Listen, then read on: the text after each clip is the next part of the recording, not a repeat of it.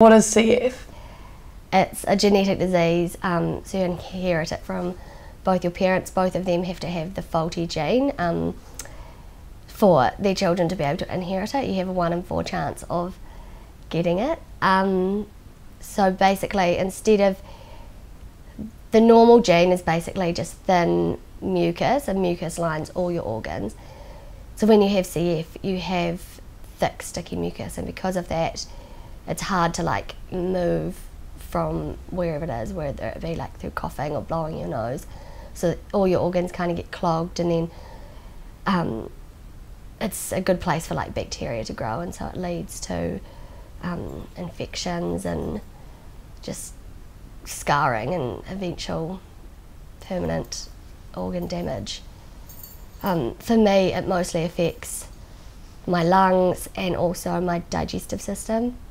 So all like my intestines, they're all clogged with mucus and don't work properly either.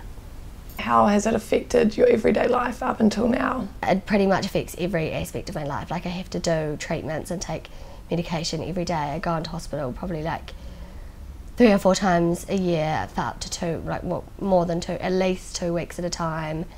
Um, but also just bigger picture as well. Like obviously you have to be realistic about it. So um, things just like traveling early while I'm still young enough to do it and well enough to do it. Um, where I can live like I wasn't going to go down to Dunedin. And it's too cold there. What I'm going to study what I'm eating. um, it, it literally affects like every aspect, even though I don't think think about it directly, but it all, you know. It's like a domino effect. Yes. What's the current life expectancy for somebody with CF? The average life expectancy in New Zealand for someone with CF, I think, is late 30s.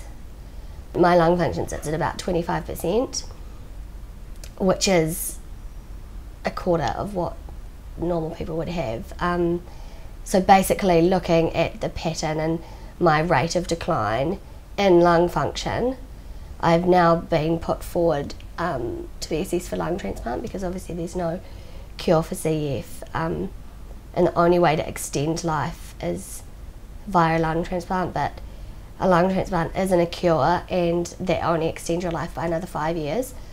Um, but then another way they also look at it is also your quality of life um, a lot of people with CF have a higher um, lung function than I do, but their, you know, their day to day is literally just keeping themselves well. They can't walk more than a certain amount of time, so it's it does come down to quality of life. But for me, if I don't have lung transplant, I probably won't be here in five years.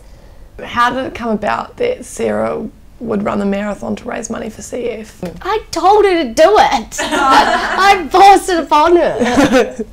so will you be there on the day cheering Sarah on? Yeah, definitely. Um, hopefully there'll be a big a big group of us.